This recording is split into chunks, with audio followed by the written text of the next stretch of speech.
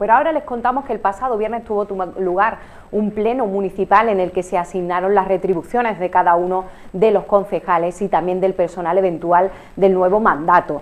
Eh, todos los asuntos contaron con el apoyo unánime de los partidos con representación municipal en el pleno, en este caso Partido Popular, PSOE y la coalición Utrera Más. Hay siete concejales liberados al 100% y dos al 60%. El resto recibirá ingresos por asistencia a los órganos colegiados. En este último punto se incluye el alcalde Curro Jiménez, que no estará liberado. A él le corresponde una retribución anual de 70.000 euros brutos, aunque por el momento no hará uso de ella. Sí que ha sido presupuestada por si en adelante reconsidera cambiar su condición. Lo mismo ocurre con los 25.000 euros del portavoz del grupo municipal, ya que tanto el PP como Utrera Más tiene concejales liberados eh, y por tanto la cantidad esta no cuenta porque ya está incluida en la anterior retribución.